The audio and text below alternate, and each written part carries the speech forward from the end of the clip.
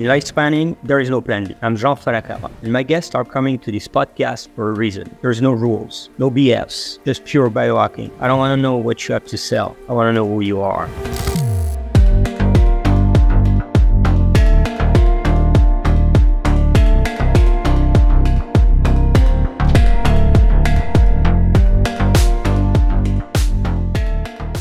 Welcome to the No Plan B podcast. I'm Jean Fallacara. Today, my guest, Chris Burres, is the uh, co-founder and CEO of SES Research. We're going to talk about um, a specific molecule um, that we already talked in the past on a previous podcast with uh, Ian Mitchell. Uh, but uh, we're going to explore a different way uh, this molecule is used and uh, what are the benefits. So let's get uh, Chris on the show and let's talk about uh, where he's coming from. Welcome to the No Plan B podcast. And today I'm super thrilled, guys, because we are to- going to talk with Chris Burres and a specific molecule and the support of that molecule that goes in. And he's going to explain us that. But um, what he's come, where he's coming from, it's way more important. When you look at uh, what Chris did in his career, uh, you're going to go like, oh my God, uh, from marketing to science to business development. But you've been around for a while. Chris, welcome to the show. And why don't you introduce yourself? Jean, thank you so much for having me. You know, we met kind of serendipitously on the street. If I recall correctly, you were doing handstands, you know, like any normal French Yeah. guy on the streets.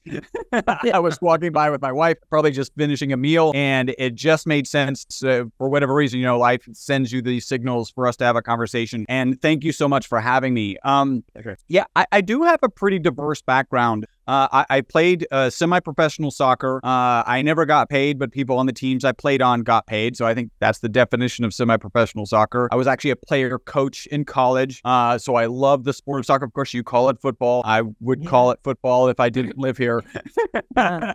and exciting things happening here in the in the U.S. Right with Messi, like that's that's kind of a crazy. He's here in Miami now. Oh yeah, no, how how how amazing is that? That's just that's just not. Have you bumped into him at a grocery store yet? Well, no, you know what? I was in the street and somebody was like with the t-shirts, and I was just like, "Why are you selling those t-shirts?" And go, I, "You're not aware, but Messi is coming to Miami." And I go, like, "Oh no, I didn't know that. Who's Messi?" How crazy amazing is that? Anyway, so so yeah, definitely soccer. Uh, I did comedy improv for about five years, and that was professional comedy improv uh, at a small theater that's here in Houston. Uh, I I've been manufacturing a molecule, a carbon nanomaterial. I've been I've been what I call a happy-go-lucky carbon nanomaterial scientist uh, really since 1991, and we can kind of jump into that. Um, I, I was going to school. I'm studying mechanical engineering. I knew from a very young age that I was going to be an entrepreneur. I just didn't know what that was going to look like. My business partners, and we've been business partners for about 32 years now. Uh, he was working on the University of Houston campus. That's where we went to school. Uh, he was working actually at uh, the Texas Center for Superconductivity. So it's a, a building and a, an organization that's housed inside of the University of Houston. Uh, and he was actually separating this molecule, and we'll talk about it here in, in, in a second. Uh, and and one day his professor came in, and this is Dr. Paul Chu, very famous in superconductivity circles. He came in and said, You guys are some young college students. This material is selling for $6,000 a gram. You should go start a business. And and my business partner is from an entrepreneurial background, did kind of a, a simple napkin calculation, which mostly involved $6,000. and he was like, yes. And, and actually, he had a, a, a lab partner at the time, Diego. They started this company. Uh, we were good friends. They they brought me in. I was actually supposed to go away. They brought me in in order to help build the equipment to manufacture this uh, this molecule. Uh, and just to share with you, the, the molecule is it, uh, it was discovered in 1985, and the Yeah, scientists who, who, who discovered it won the Nobel Prize uh, in 1996. Uh, in 11 short years from you know discovery to award, uh, it's 60 carbon atoms, and, and I'm holding it up. If you're listening, just imagine, ironically, a soccer ball. Oh, it's true, yeah, it looks- soccer ball represent the the bonds same. between the carbon atoms. So you have a spherical molecule of 60 carbon atoms. It's the first closed cage molecule ever discovered. And again, the three scientists who discovered it here in Houston won the Nobel Prize for that discovery. In order to manufacture that molecule, you actually have to take two graphite rods, the best way to manufacture it. There's there's a number of ways. But you take two graphite rods and you vaporize them in an inert environment, so no oxygen, and at a slight vacuum, right? So you have to have a chamber that can hold a vacuum. These are all pretty complex things to engineer all together. Uh, by the way, graphite is the hardest one of the hardest materials on the planet to vaporize. And so it takes local temperatures of the sun to vaporize these graphite rods. And in fact we actually actually have a sight glass to kind of watch this reaction as it's occurring. And i am going to tell you it's a naturally occurring molecule. We'll get to that here in a second. But you have, actually have to have welder's goggles between you and that reaction or you'll burn out your retina. You'll Wow. actually get a sunburn. It literally is local temperatures of the sun. Um, out of that comes a soot. That soot has about 10%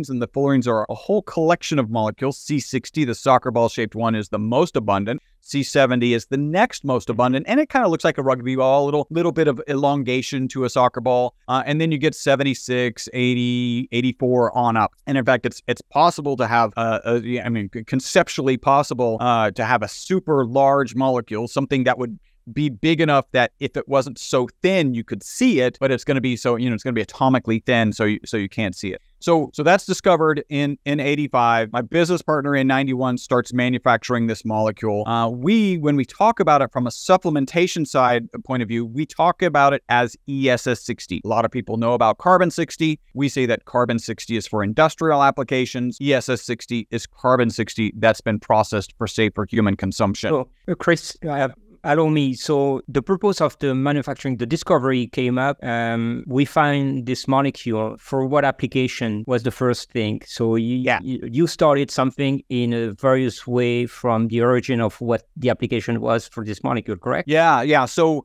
uh, the at first we used to joke in the very early days that the molecule was really good for funding because if you wrote uh, uh, you know a, a grant uh, doing a study on C60, C70, or fullerenes in general, even kind of nanotubes, you were almost guaranteed to get funding. What's what's really amazing, and, and let me talk about the the materials. I like to say that the material performs as well or better than the best material in almost every application. And so what that means is things like inks, batteries, tires, photocells. This is often where people who know I'm talking about a supplement get uncomfortable because Mhm. I just said inks, batteries, tires, photocells. They're not usually things that you think of that will go into a supplement. The, mo- the molecule, right? So you think about that so- closed cage soccer ball shaped molecule. It actually has six fold symmetry. So there's six planes through this molecule where it has where it's symmetric. What that means is it's incredibly resilient. There's lots of carbon carbon double bonds. Those are the strongest bonds known to Mhm. man. Uh, there's lots of those in this buckyball. Uh, as an example, you can fire this buckyball. This this again for consumption we call it E ESS60 at a plate of steel at 15,000 miles an hour, where most molecules will just shred apart. This one in my head, I picture it like compressing and then bouncing right back, right, like an actual ball. Uh, so it's incredibly resilient. Early on, we knew two things. So one, it can hold up to six electrons. So those are electrons that can sit on the outside of it.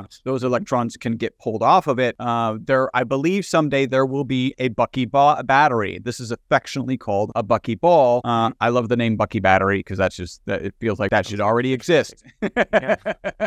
um, you know, a typical lithium battery, and it's actually cost competitive with lithium. Typical lithium battery degrades because of actual physical material degradation. So you know Yeah. your cell phone works wonderfully for the first maybe three months, and then Yeah. it just starts going down, and you're like, After a year, you have to change it. Yeah. Right, right. Amazing how that works.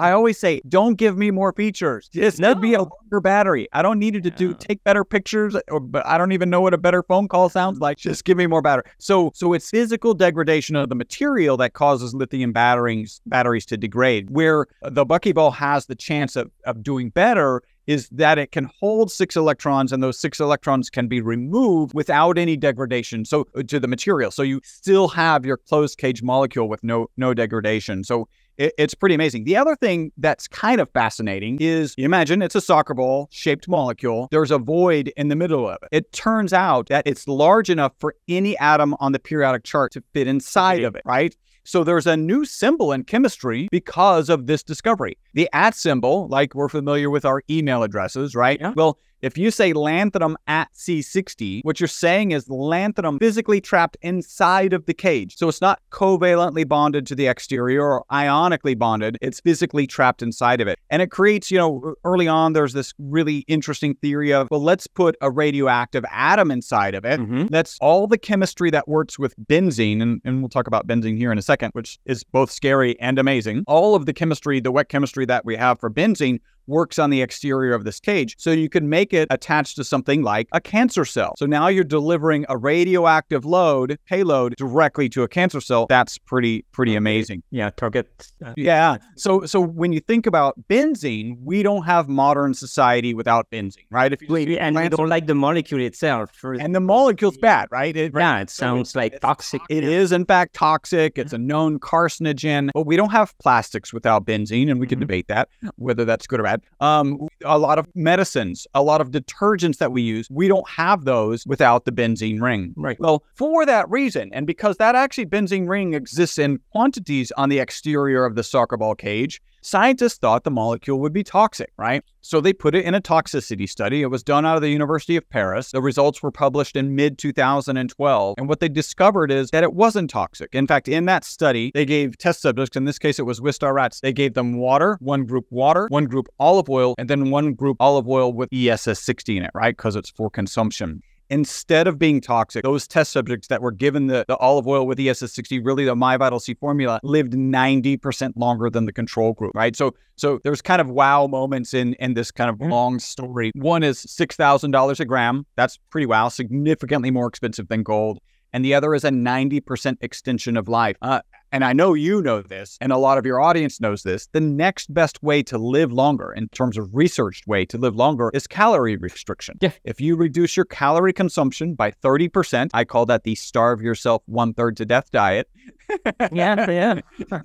you can That's extend your life by 30%. Thirty percent. Yeah. And, and that's in multiple animal models. That's like, I think, as simple as yeast, as complex as pigs. Like these Yeah. are very well documented. It's a great way to live longer. Um, not many people sign up for the uh, starve yourself one third to death diet. Like, and maybe it's marketing. They need a better marketing spin. Yeah.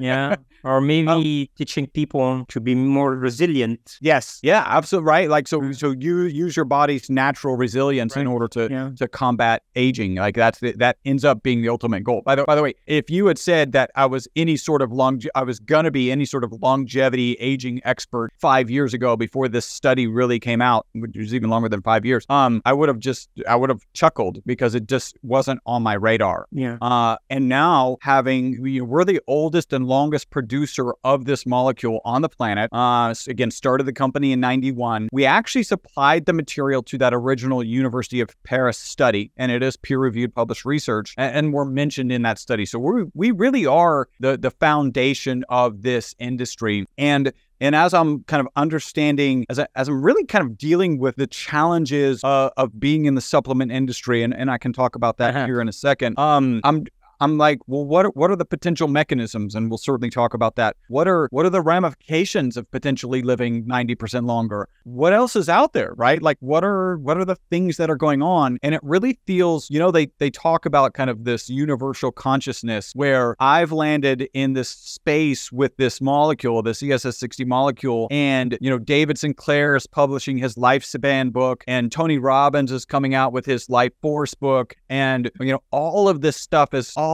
changing right now. Like Yep. we're, you know, in Dave Asprey with we, we we met at the biohacking conference, coming out with biohacking. Like this is really a quantum shift in um in in the thought processes around aging, um, whether it's you know your health span or your lifespan. uh, both Yeah, yeah. We we uh, actually launched the uh, life spanning movement because uh, you remember uh, when we spoke uh, in Orlando, I told you the problem with biohacking is like people have a very negative perception of it. So we said, okay, we're going to change that for life spanning.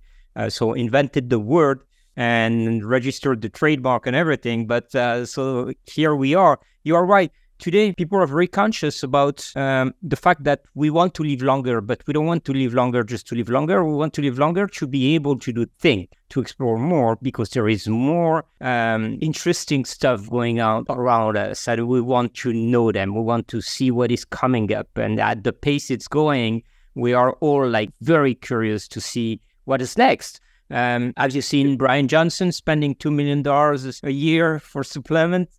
Yeah. Uh, to to a certain extent, I have a huge respect for Brian Johnson, uh, but I think that the way it's done is kind of you can you can address critics in a way because if you are ready to spend that much money where everything is already out there, we all know that the molecule is using have been used by biohackers for decades. It's not new what he's doing. Uh, you spend that much money to get there. Why don't you spend money to educate people? Yeah, yeah, to, yeah. Turn around and and and Yeah. um, uh, you know, it, it, you end up with different uh, personalities moving a movement forward, right? Right. And some of them are, you know, Dave Asprey. Let's like be cutting edge, uh, like you. Let's get publications out there and let's Yeah. do some certifications so that people have Mm. can, have confidence in this industry. If other people are just like, I've got the money, let me let me spend it and Yeah, and, and and, and and, use it for me. Yeah, that's it. yeah. Well, you use it for you, the six six thousand dollars molecule, but it works well on you. exactly. You're using one. You know, you bring up a really interesting thing that as as as I started sharing the story of these test subjects living 90% longer, um, there were a surprising number, and certainly this wasn't in biohacking circles, but it was a surprising number of people were like, well, why would I want to live longer? Um, and and what I and, and and you're kind of aware of this, right? Which is I realized later, it, it, it took me a little while, where where if if you ask somebody the question, uh, hey Jean, how how would you like to live longer but in an affirmed state? Mhm. um, where you don't have the mental capacity and you don't have the physical capacity that you have today, you start thinking, well, I'm I'm not sure how long, and then I want to know what the decline curve is, and then Right. we chop it off at some point. Uh, and so I started rephrasing the question, which is, hey, Jean, if you had the same mental capacity that you have today, and you had the same physical capacity, the ability to stand Handstand. on your head, and then would you be interested in living longer? Yeah. And and the reality is not everyone's even then not everyone says yes, right? But it really dramatically shifts. And I think that's what, you know, David Sinclair is doing for advocating that aging be called a disease because it's not yet. Mhm. And and I think that quantum shift. I love what Dr. Gundry says. He says, I want you to die young yeah, at a very old age. yeah. Right? And I, I, love that. that's- right? That's that's what we Yeah. all. I think not all, because I've talked to people, but that's what most of us are, are really looking for. And and as I share that story, then people come back and say, okay, well, well, what, like what is the possible mechanism, right? So the first is the results. Now trying to understand uh, the mechanism, and and I know there's some controversy around uh, looking at aging. The medical community kind of has the concept of of aging is related to inflammation and Mhm, mhm. oxidation, right? Yeah. There's debates around that. Um, it's interesting that our product does in fact trick uh, tick both of those boxes, right? So. Uh, if you think about antioxidant, there's a ad hoc study out there, 172 times more powerful than vitamin C. And then if you think about in- inflammation, I don't want to get too product focused here, so so keep me on track. Um, if you think about uh, inflammation, then then we are allowed to say that it helps mitigate inflammation related to exercise. We're not allowed to talk about any other types of inflammation, whether it does or doesn't. Just we Yeah. need more research on it, and that's kind of an FDA uh, restriction, which I think is is the right restriction that the FDA puts on on the industry. Yeah, well, the industry of supplement is quite wide anyway. So uh, as long as you don't get into that door, it, it, it's fine. Uh, now to go back to uh, the state of mind of people willing to live longer or not, I think that first it depends of the age they are in. If they are old enough and still autonomous, they will say yes. If they are too old and uh, they're pretty alone and cannot not able to move, they will they probably will say, "Wow, no, I'm not interested." And then the young saying, "Ah, no, I'm not interested." Um, there is, I'm never gonna die. yeah, yeah. Or some are so depressed that they would die right away. Yeah. Uh, but that is a, uh, a- a- a phenomenon of society, and it's it's our society that uh, drives that. But uh, to go back to our molecule and your story, so you were 30 years ago in a lab doing those research, ESS 60, $6,000 a molecule. That's why it's not sold on the street by drug dealers.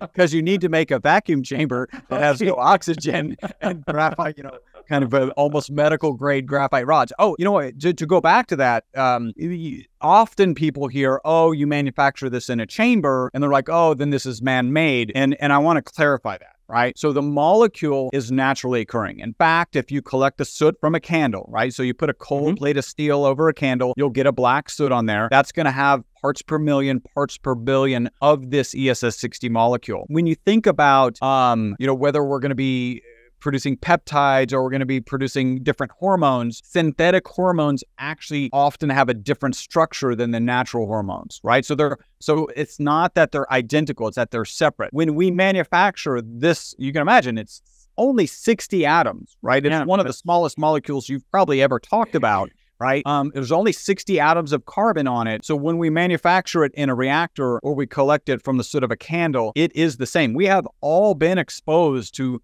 you know ESS 60 at some point, right in in our lives because we didn't know why. Yeah, yeah, we didn't know what, what was the effect or uh, if it was good or not. Yeah. Um, and and just to bracket because uh, some people will have the same uh, thought that uh, just crossed my mind. You know, in this society, you heard a lot about the C14 mm. or marking the half yep. age and things like that. And just to um, put some light into the discussion, that has nothing to do with C60, okay? Uh, yeah, one is no. the atomic carbon 14 and the other one is a molecule. Yeah. Well, and, and carbon 14 is about the, the, the, um, the, it's, I think it's the neutron count in the actual carbon atom. Um, and and we actually have done we've done some manufacturing. We've actually taken graphite rods, drilled them out, put in carbon 14 powder, uh, so that it's easier to trace through the bodies for for oh. different medical applications yeah, for different applications. It's a marker. Yeah, yeah. Yeah. So um so yeah, it's but it's very different. That's just an that's an impact on the individual atom as opposed to you know a carbon 14 a, a 14 collection of uh, collection of 14 carbon atoms in, yeah. in, one molecule. By the way, 14 carbon atoms would actually be a sheet of graph graph. Yeah, that's all. That's all it is. Oh. And there is a lot of uh, people talking about graphene oxide, and it's gotten spun up into kind of uh, the VAX situation. Uh, mm. And reality is is that one, the the ESS 60 molecule is vastly different than a flat sheet of graphite. Mean, by the by the way, if you think about your graphite pencil, mm-hmm. what your graphite pencil is doing is it's leaving graphene sheets on your piece of paper, like. So we've been exposed to graphene, you know, since they've been using the graphite pencil. So it's it's not a, a dangerous molecule. Um, whereas graphene oxide, okay, you, you, can probably look up at some different different research for that. Um, I, I wanted to share uh, what an interesting journey. So, so, so one of the things I want to share to go back to antioxidants, right? So, antioxidant, anti-inflammatory. Yeah, we ha- we have kind of a new theory, and I don't know if I got a chance to share this with you. We get you gotta you gotta think about our our, our situation, right? So we're happy-go-lucky carbon nanomaterial scientists. This paper comes out, and the the the test subjects live ninety percent longer, given our material give, live ninety percent longer. And we actually start getting phone calls. Hey, how much of this should I consume? Oh. And if oh. you think about us with carbon nanomaterial scientists, yeah. very conservative, we're like, wait a minute. You're, exactly. You're asking me how much of this stuff that we sell to research institutions around the world to put into ink, batteries, tires, and photocells, how much should you consume? Yeah, zero. We actually we actually put not for human consumption on our labeling, uh, and that went on to our labeling about mid 2013. So you think of the company history, 1991 all the way to 2013, we did not need not for human consumption on the labeling. Now, just to be clear, the literature was concise and and and very clear that it is safe, right? Like there's no studies where it's processed popular, pop, uh, processed properly, and that's what we call ESS 60, um, and it had any detrimental effects. So we were confident that the molecule was safe. We were just like conservative scientists going, inks, batteries, tires, photocells, don't don't yeah. consume it. So from 2000 and mid 2013 until 2017, we'd get like one call, two calls a week, and it would be people saying, you know, crazy biohackers, because now I am one. going, hey, I'm on C60. Exactly. how much should I take? I mean, yeah. and you're like, you mean how much should your rat take? Because yeah. it says not for human consumption. And then they would say things like, you know, my hair is growing faster, my knee pain is gone. And, and we're like, you mean your rat's hair is yeah. growing faster and your rat's knee pain is is gone, right? Because it literally says not for human consumption. And so from mid 2013 to 2017, my business partner and I would get together uh, about quarterly. So about every three months, we're like, okay, like this is, you know, people are, are consuming this despite our warnings, despite kind of advising them appropriately. Do we want to do anything with it? And and in that time frame, I actually found, and you'll appreciate this kind of with your your strategy for uh, uh, uh for kind of certifying products. I found a research paper, peer reviewed research paper that said 50% of, of the supplements that they had tested, they just bought some off the market. 50% of them did not have in them what they said they had in them. Yeah. Right. And there's, it's bad, right? It's it is bad. Yeah. And not only that, like you start getting into, you start digging down into this rabbit hole. And you see like, that they're all over the place for the rest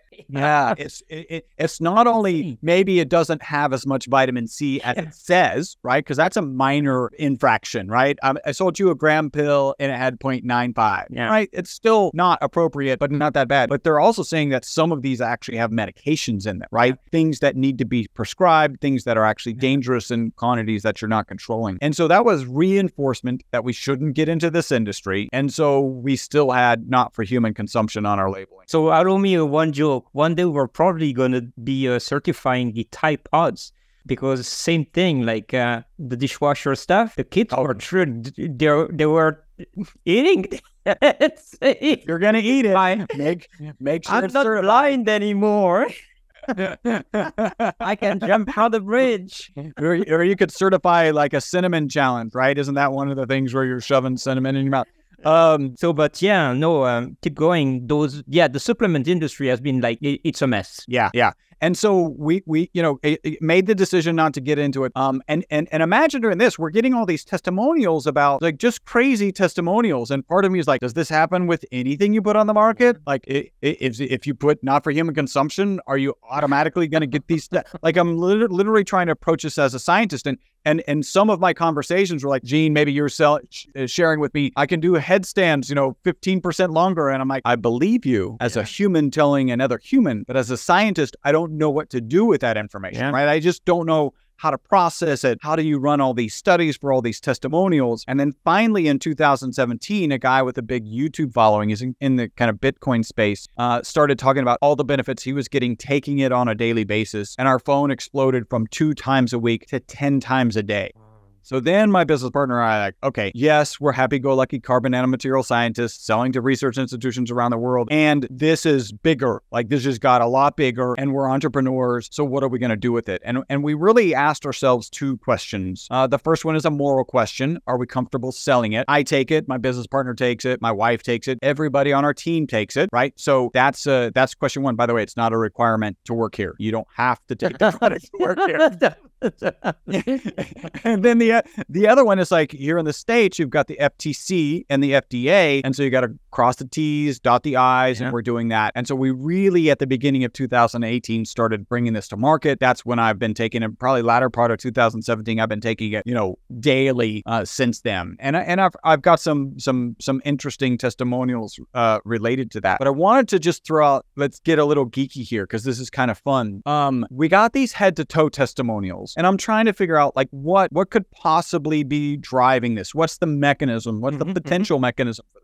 And one of our most consistent testimonials is people take it in the morning, they report mental focus and energy during the day, and better sleep that night. And it is, in fact, true that if you improve sleep, right, the most restorative and healing medicine that you yeah, can take, right, and it's free, the day. Yeah. Um, if you just get better sleep, we all know sleep is good for your mental, physical, and emotional well-being. So, so maybe it was that, and that's where uh, I used to kind of hang my hat. But we've got a new theory, uh, and it's and it's driven by some some research, and it's driven by a, a really interesting concept, uh, and it's called the BOSS theory. So, buffering oxidative stress system. So, what we do know from peer reviewed published research is that this ESS60 molecule gets into the mitochondria, right? We also know from way back in the 90s, this can hold, well, it's an antioxidant, but we know that it can hold up to can, six yeah. electrons, right? So, we know that it can function as an antioxidant. So, the current theory is, you know, in the mitochondria, the power, you, I'm, going to be powerhouse quiet here, right? Powerhouse of every cell, just like every powerhouse source, whether it's your car going down the street with the exhaust coming out or your power yeah. plant, you know, with the smokestack. There's some negative byproducts. In the case of mitochondria, it's reactive oxygen species, those things that do oxidative damage in our bodies. And we all know different parts of our body can get depleted of components from time to time. The mitochondria has in it, you know, a smokestack has a scrubber. The scrubbers for the mitochondria are glutathione and metal- melatonin. Mm-hmm. Interestingly, the sleep hmm. hormone, one of our testimonials. Yeah. So if that mitochondria gets depleted of those antioxidants, then that free radical is left to go around and do damage. We know that this E ESS60 molecule is present. So I think it acts like uh, a paddy wagon. Think about Bourbon Street, right? You're on Bourbon Street. It's the end of the night. Your reactive oxygen species are drunk and breaking windows and tearing up cars. And you've got your glutathione and melatonin police to handcuff them and take them off of Bourbon Street. But when they're gone, what happens to those reactive oxygen species in the presence of this ESS60 paddy wagon is it holds on to them, but it holds on to them reversibly. So it can be this buffering system until that mitochondria can replenish the glutathione or replenish the melatonin, and then it can handcuff it and get it off of Bourbon Street. Um, so not only is it kind of an, an additional uh, antioxidant in the mitochondria, our current theory is that it performs a different, it performs differently as a as a buffer as opposed to just kind of a a, a, a- negation uh, element. Yeah. So that's that's current theory, and that would explain head to toe testimonials, right? Like, Yeah. if your hair's growing faster. What's the mitochondria? Yeah. w- One Mitochondria is improved. Everything's better. So yeah, uh, okay, but those people they were saying like I'm taking that, I'm I'm I'm, I'm on it. Uh, my hair are growing back, my skin is fantastic. How they are taking it? Like uh, basically, is it a powder? Is it liquid? Is it, what it is? Yeah. How do you? So, how did you uh, supply your? Uh, uh, what was your supply chain at that time for science and what it is now? Yeah, so we're the largest manufacturer and distributor of that molecule on the planet. Um, so when they ordered it from us, we actually sold them a black powder, right? And it's just a black powder. Um, Put it in the nose or? No, only when it's in neat lines. No. And then you can do black and white. Um, no, so so they actually took it and dissolved it in olive oil, right? Oh. It turns out that that black powder is not water soluble. So you can consume it. You could snort it because they've actually done that with rats to test for toxicity. Um, they've injected injected it perinatally, so so it's known to be safe. Your body, the body just processes it and you excrete it out because it's not water soluble. As soon as you dissolve it in an oil, and our products are olive oil, avocado oil, and MCT oil, it gets that individual molecule down to a monomolecular layer, right? So you're not dealing with black crystals. Imagine like sugar crystals, yeah, right? yeah. They get dissolved in water. You've got these black crystals, they get dissolved in olive oil. By the way, it takes a really long time to dissolve a small amount of this molecule into olive oil. We actually blend ours between two and three weeks uh, in order to get the maximum concentration. So it's not just like you drop sugar into a glass and it's gone. This is two to three weeks of So- so mixing. These people that they were taking it as a supplement, trying it from the black powder, how how did they do that? They they knew the That's a great question. So we always sold it dissolved in olive oil. oh, right? Okay, Hey, so you don't have to go through it. There are a number of people, even today, who will buy our powder. They'll mix it. They'll use an Erlenmeyer flask. They'll use a, a magnetic stir, and they'll mix it for two uh, two to three weeks, and then then they'll consume it themselves. And there's some uh, potential cost savings there. Um, but in general, e- even back then, we were already selling the oil. And and when you're selling that oil, now you're at a monomolecular level, uh, and and it's significantly more bioavailable. You're actually able to get it in into your system. Hmm, that is very interesting because how did you figure out that it was going to be uh, soluble in olive oil and not in something else? Like I would have gone like solvent. We were talking about benzene.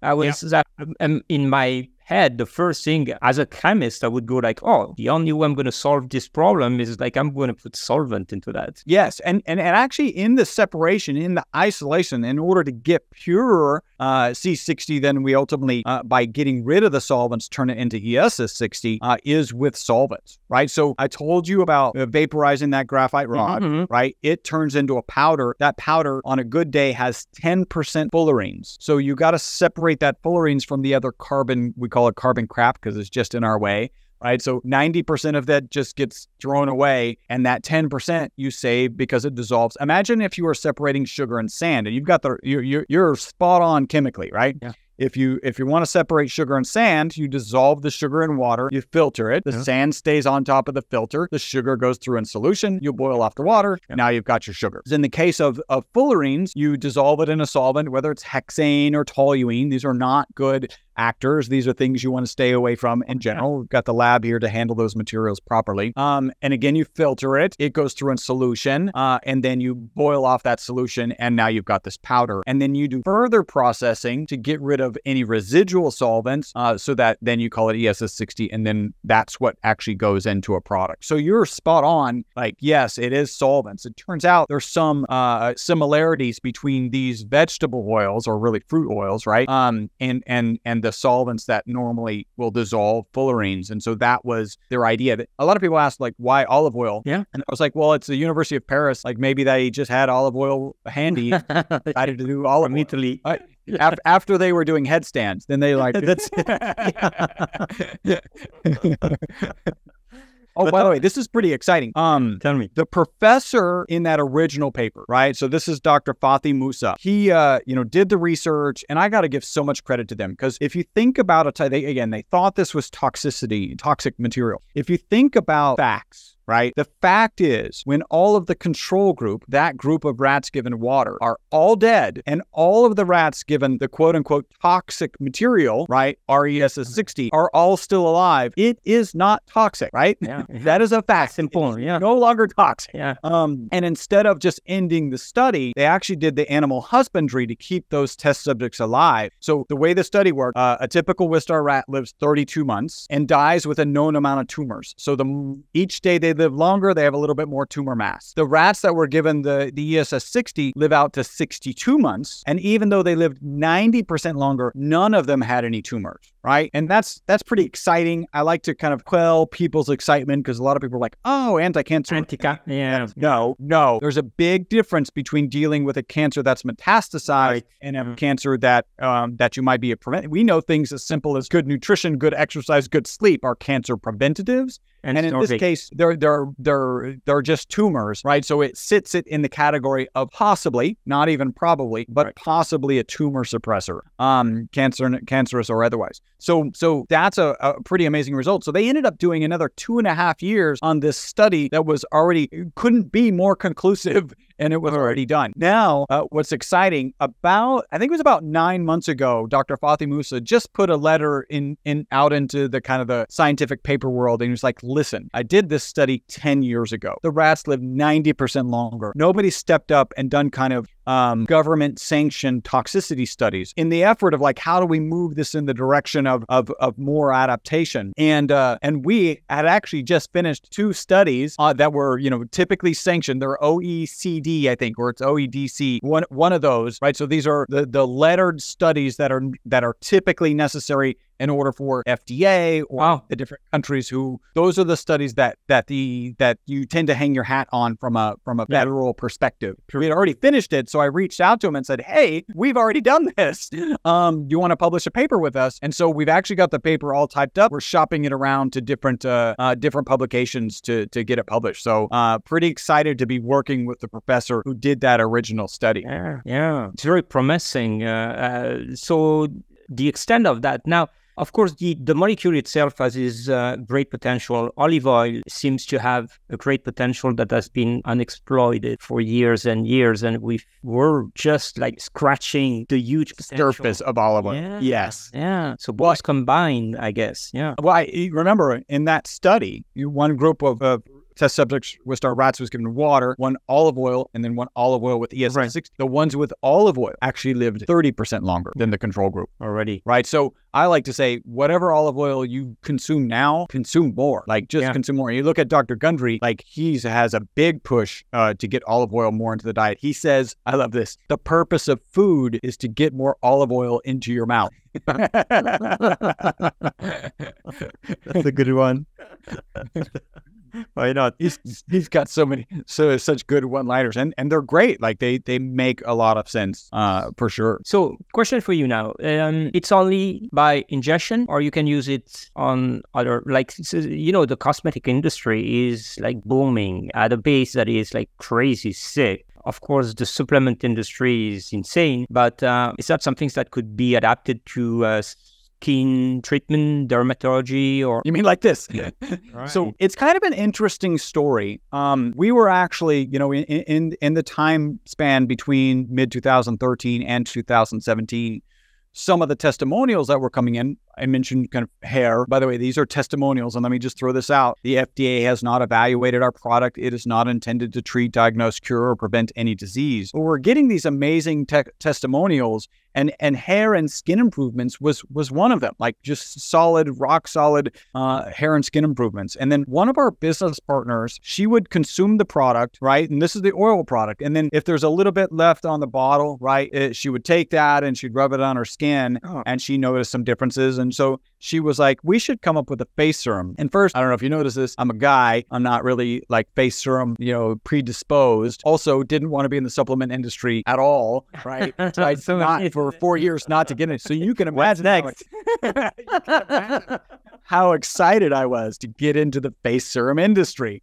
Um, but you want to support the business partner. There's some reasons to that, that it makes sense. The efficacy makes sense. Uh, and so we put the product together. We start getting it over to our customers, and the testimonials were phenomenal. Now, about that time, my director of research comes to me and says, Hey, Chris, I found this other molecule that's got 30 years of research behind it, uh, skin and hair improvements. Uh, and it's a peptide. Uh, you should look at the research. So I've dug into the research. I'm like, wow, like a 30 year track record of peer reviewed published research with skin and hair improvements let's let's see if we can put these together. And the first thing is it's a peptide. We call it UTH29. Um, peptides, with this particular peptide at least, is water soluble, right? And we have an oil soluble product. We're trying to figure out how to put these together. Yeah. Your chemist mind is going, oh, you just use an emulsifier. And that's how you typically put oil soluble and water soluble things together. I just don't like the word emulsifier. And if you go Google emulsifier, there's really not much positive to say about emulsifiers. So we ended up putting a two part solution together where you use the UTH29 uh, oil soluble, uh, water soluble lotion, right? It's a blue lotion, and then you put some of our ESS60 activator with it, and it's we call it a skin reduo set. You just put two drops per uh, per squirt, and then you mix it, and so you activate it right there in your hand. And mm. that's the thing. That's the thing that I end up using. Oh, oh. That's the thing that I want to so, try that. Yeah, yeah, I'll I'll be happy to get some to you. I don't know. I think I sent you. Did I send you a care package? I haven't got it yet, but uh, yeah, yeah, yeah. I'd like.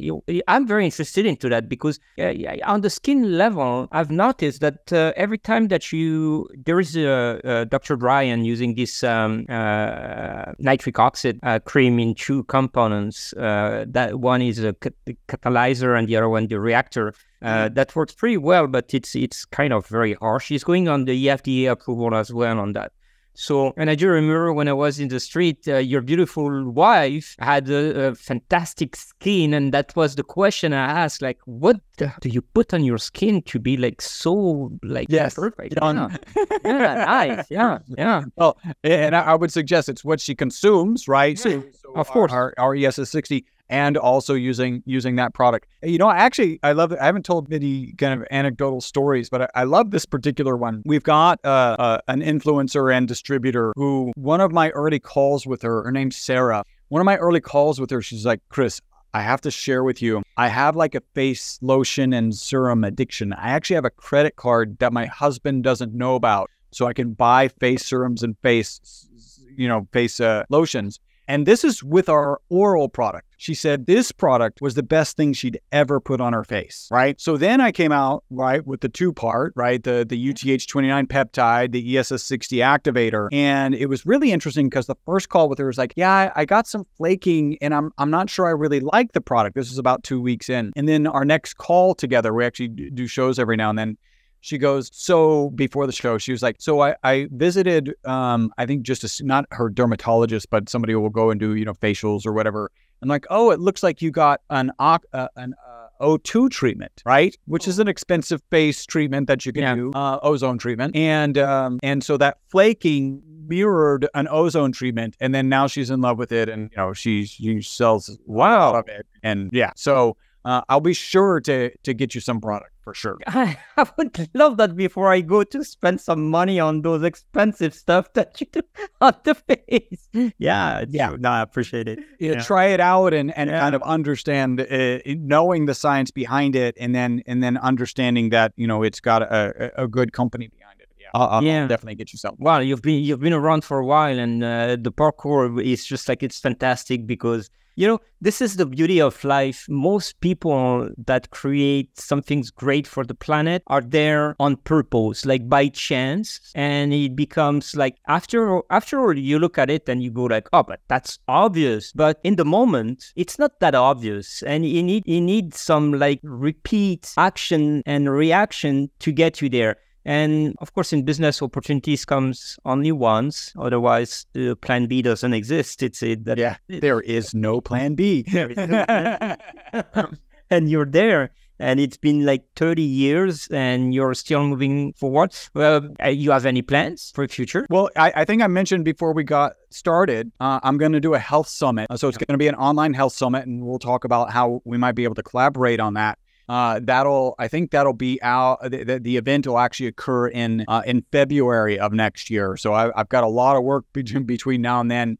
Uh, as I was sharing, uh, I've got a book. It's at the publisher. It's about to come out. Uh, Live longer and better. Uh, it's kind of the story that I've shared here, plus kind of some of the the stuff that I've learned in the in the, in the path of becoming a longevity expert and sharing those things and really some some mentors of mine dr gundry's mentioned uh, David Sinclair's mentioned, uh, Dave Asprey, of course. So, um, so that I've got a book coming out, and I've got this health summit. Those are the things that I'm I'm focused on right now, and and really just constantly looking. You know, at the Biohackers Conference, you're I'm looking for those things that have the right level of research behind them, mm-hmm. uh, and to figure out how we can collaborate on on bigger and better things. Like what is what is the you know I read a book, ended up as an audiobook, so I listened to it. I got it off of Amazon. I, I would I would have to spend some time to dig through, but the premise of the book, it was related to longevity, was at some point there will be someone. I believe this so I, am sure a lot of a number of people don't believe this, but I believe this. At some point, there will be someone who is the last person to die of old age. Right? I don't. I don't think we're going to cure death because if you no, it's fall poss- yeah. plane without a parachute, yeah. like there's no coming back. Um, but at some point, there'll be somebody who's the last to die of old age, and it would really suck to be that person, unless like you did right, unless you're just okay with that. Um, and the premise of the book was you should be doing all of these things that you can to extend your finish line. So hopefully hopefully you get past that uh, terminal velocity of aging. I don't know if you've heard that phrase. Uh, it was mentioned in, in in Life Force, yeah, where the medical medical science can extend your day, uh, your life by more than a day every day, mm-hmm. right? And that's that terminal velocity where you were now in the realm of there'll be somebody who who who, who will be the last person to die of, of, of old age um, of natural causes. So uh, I, am excited about that and, and excited about, you know, jumping into all of the research. Biohacking conferences are amazing for this. I think you've got something that you're that you're working on maybe in Dubai. Uh, that's pretty hopefully I didn't give away anything. Uh, but that's that's pretty, pretty exciting you can edit it out. That's pretty exciting. And um, so anyway, like I, I there's a there's a uh, the the current plans are book and then health summit and then let's see what happens after that. And the book, yeah, the book we we need to uh, to to, to uh, talk about that book in in Biohackers magazine for sure. We need to have yeah. Uh, uh, the release uh, and and everything. And do you remember you're just at the third of your life. So yep, absolutely. I'm plenty 54. Of, so yeah, well, yeah. If the, if the average person lives uh, 90% longer, the average person lives the average person lives to 152. By the way, I did there at the biohacking conference. There was a um, a booth GlycanAge. I think. Yes, I did the test. The test. I did that too. Yes. So I got my result. Well, I think I've got it, it, for a while, and I just yeah. remembered it. Uh, my age is 21. Holy smoke! That's what I said. Whoa. Well, you uh, and you didn't spend two million dollars like Bryan Johnson yeah. to do that. yeah, a- exactly. So, um, so that's I don't even know what to do. Like again, as a scientist, well, like what do I do this? They're telling me my, my you should, yeah, you should actually uh, uh, promote that uh, and use it as a tool because GlycanAge is the most accurate um, aging metrics that is around. Like it's way more accurate than uh, methylation. Yeah, exactly. Yeah. So, uh, whoa! it's it's for you. It's gonna be one arm and stand, not handstand. yeah, exactly. One arm or no arm. That's there. Yeah, I, am I'm, I'm, It's pretty exciting, and and I literally I just looked it up t- today uh, and printed it out. So I'm, I'm digging into that. I need to. I I I've, I did the methylations tests, and and and I think they had um like DNA age right? Was Yeah. one of them. Yeah, And then there's another one. Yeah. And um and it was I don't know five years old or, or something. But one of the things I, and when we did a short study with a, a a doctor out of California, and one of the things that came out of that study was even though they were taking a product, if they got COVID, the the DNA age just plummeted. Yeah. And I'm like, well, how accurate is this thing? Is this result? If having a cold, right, Yeah, can affect you know, that. a viral infection uh, uh, Yeah. ha- causes it to you know drop off the drop off a cliff. Hmm. Uh, and so, like, I get it conceptually. Okay, maybe you're down for a little while, and as you recover from that, but it just feels too. Um, yeah. I don't want to use the word yeah. too too too uh, sensitive, right? Like, it is, it is, and it's, it's all over the place because for the fun of it, I've been doing these tests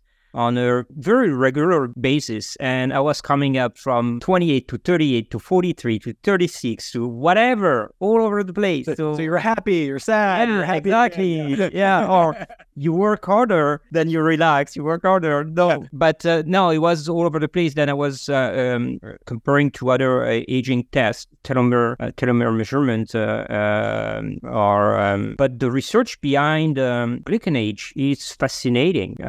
Yep. They came upon something very, very interesting. Yeah, Uh, yeah. I I think um it's probably not for me. I'm looking for I so I approach it scientifically. I'm looking for the thing that's not an aggregate of data and people who are like this tend to be this age. I'm looking for you know what is the fuse right and can you extend the fuse, which is I think why people like the tel- telomere length kind of thing. Um, but But it was, yeah, it was quite. It's it's it's quite appropriate, of course. yeah. and and you know some of what it's looking at is inflammation Yeah. Like how your body manages inflammation. Um, and that's why I'm I'm very happy to talk about. Again, we are allowed to say that our product addresses inflammation as it relates to exercise, just not any other type of inflammation. I like to mention as you relate to exercise because most people will just purely state reduce inflammation and no statement behind that. I, I this is why your company is very serious.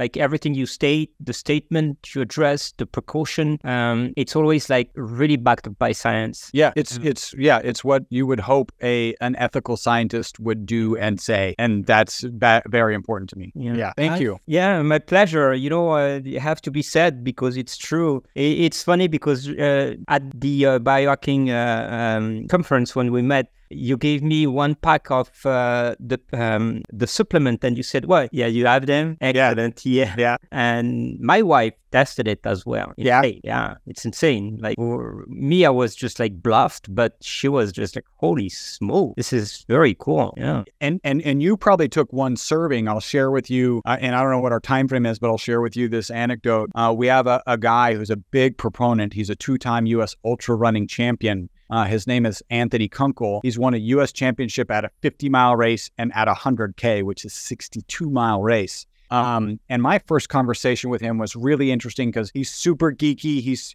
he's like an athlete monk, which actually a lot of these high end athletes like that's all they do, and Yeah. they're focused, and all their budget goes there, and there's often not Yeah. much budget. Like that's what they they're monks.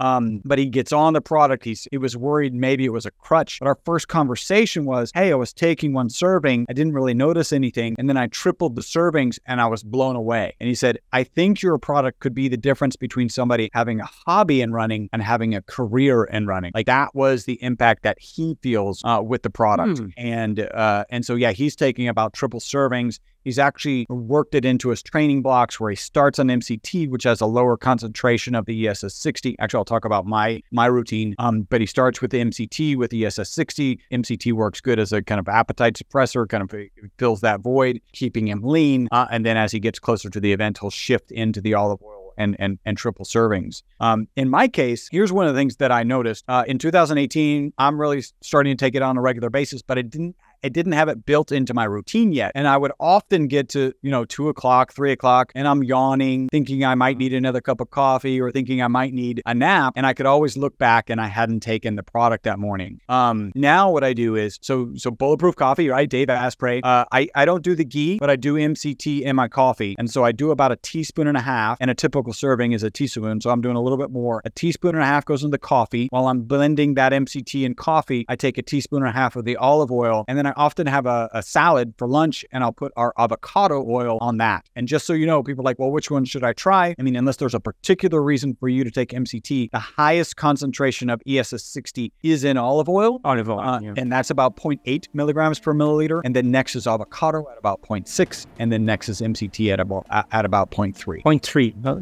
yeah, excellent. Thank you for Yeah, it's it's it's a small amount. It takes a long time to get it to dissolve, and there's just not much in it. Like that's that ends up being the reality.